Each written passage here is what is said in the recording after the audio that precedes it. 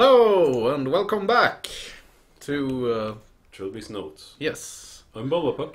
and I'm Blaster Master, and uh, we start where we left off in the last episode Mm. with a piercing through the head. Yeah, it was it was not nice. uh, so I checked out the solution, but I haven't told my friend about it. Uh, but I have to. I don't need anything. You don't need anything. Uh, So- in fact, the solution is incredibly logical. Hmm. Incredibly logical. So I can't get up, can I? No, I can give you a hint. You have to wait until he's kneeling. Okay. Yep. Okay, now. No, now. Now. Yeah. Um. Wait. Let's kick him. Let's kick him. There we go. There we are. Oh wow! You kicked her. Rape time. Siobhan was out cold, but uninjured. She would probably be safe on her bed while I continued my investigation. Hmm.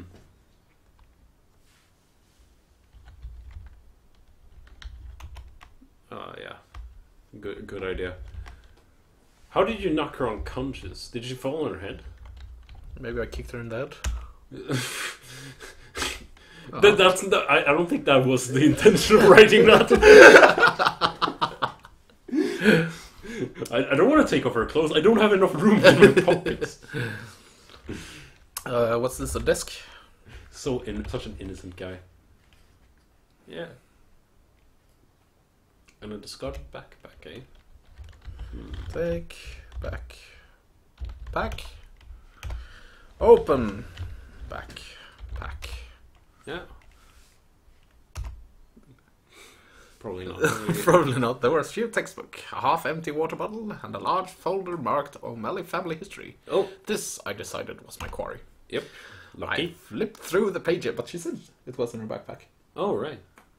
I flipped through the pages until I reached the information relevant to the 18th century, and I read my discoveries out loud. The why? The Liverpool-based O'Malley Shipping Company ran for three generations of the family in the mid to late 18th century until the loss of one of their clippers drove the company to bankruptcy. Hmm. The owner at the time, Jacob O'Malley, hey, it's you. No, you're Bubble Puck. Yep. Placed the blame somewhat irrationally on shipping crate with family legend alleged to be haunted. And that had been on the chip all the time. There are numerous tales of bizarre events surrounding the crate, and the story of the crate's origin is no less mysterious.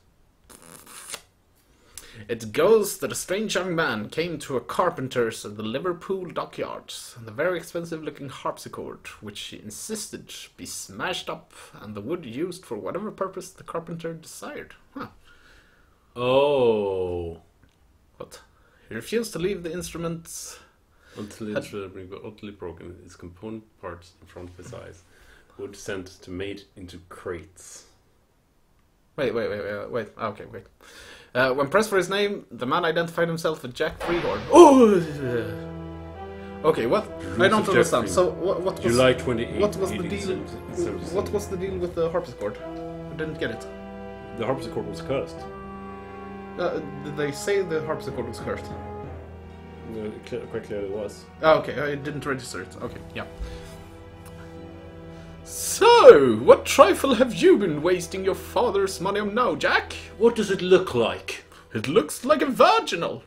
A harpsichord, actually, in the Flemish style. Quite old, quite expensive. Well, I suppose I should be grateful that something is distracting you from the occult for once. I fear you may be speaking too soon, my friend. Oh, God. I should have known. You and your silly obsessions.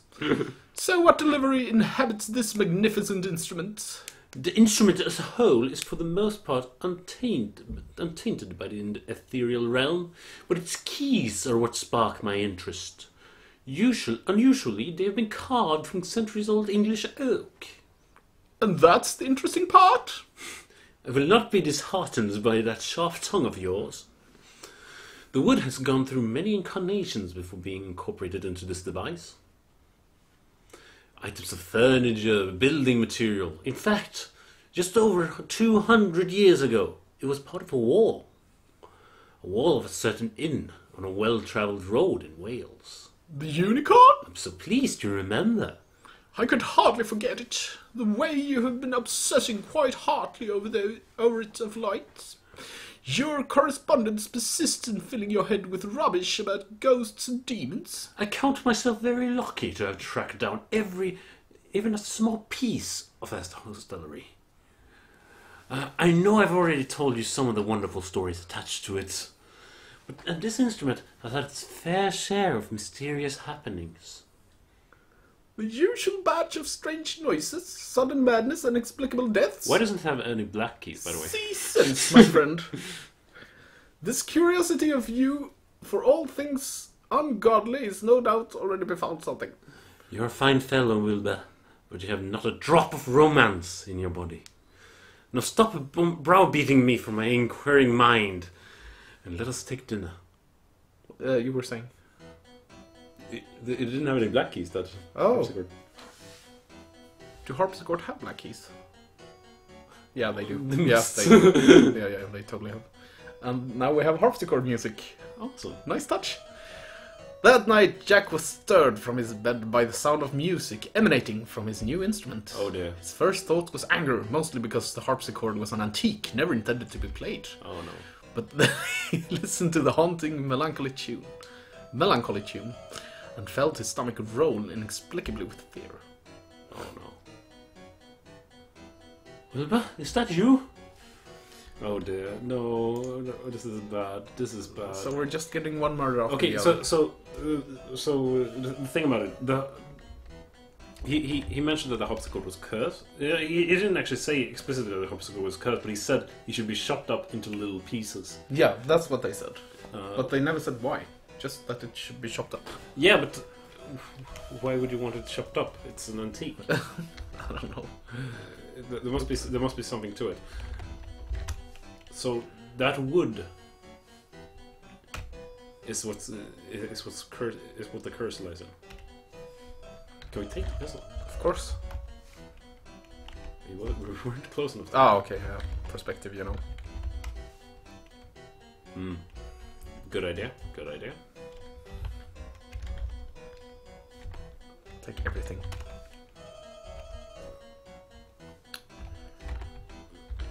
Uh, I think it's one of these. Uh, go go go down, right up. I think. Oh! Yeah. Gone downstairs. oh, look, he's holding a candle. That's funny.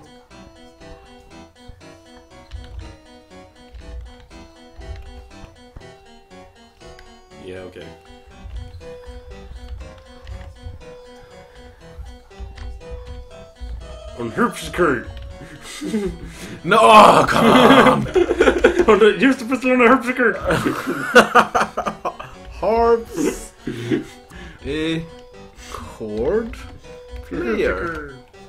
I didn't understand the word player. You, you, you can just write shoot man.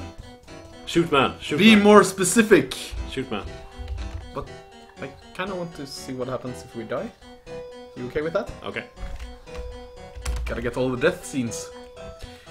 Jack could not take a step further because he realized with a lurch that he recognized the dark figure that sat at the keys. He had read of this strange entity that recurred frequently in stories surrounding the Unicorn Inn and the subjects that were later constructed from his. The objects. Ah, sorry. And he knew with absolute certainty that the tall man would destroy him, were not destroyed first. Okay, so hey, we actually got some story. You won't take me, demon. Oh, see that I told you. He did kill his wife in the hotel. Wilbur? No. Oh God, no! But I, I could have sworn. You! I know you! You have... Oh God! Please forgive me, Your, your Majesty, for my transgressions. I'm a worthless, craven fool, worth a second of your precious time. I beg you, spare me. I will redeem myself for my offense. I will be yours forever, my body, mind, soul. Hmm. What was the name of this fellow? Thank you, my lord. Thank you. Jack Freehorn. This may have been the same Jack Freehorn who went on to make a bizarre religious cult. Hmm. A depraved group of Platonist worshippers. Oh, it's your voice. Sorry, Ah, sorry. who were spoken of much of with uh, with my latest flashback, my knowledge of the history of the cursed wood gained another step. Before the crate, it had been a harpsichord, and some time before the harpsichord, it had been part of some kind of hostelry in Wales, But it seems. An Uh, inn called the Unicorn. Why did that ring a bell somewhere in my recent memory? Mm. I'd definitely seen something in the Clanbronwyn Hotel that was linked to the place, but where? Oh, what? She's gone? Yeah, I think we're gonna kill her. No. Uh, maybe we should end this episode here. We've gotten a lot of exposition and stuff. Oh crap! Yeah. Uh, thanks everyone for watching. Oh, there's another note. Hey. I think we've been missing notes, by the way. Uh, it said note four on that one. The last one we read. Thanks for watching, everyone. We'll see you next time. Have a great day. you too. Bye bye.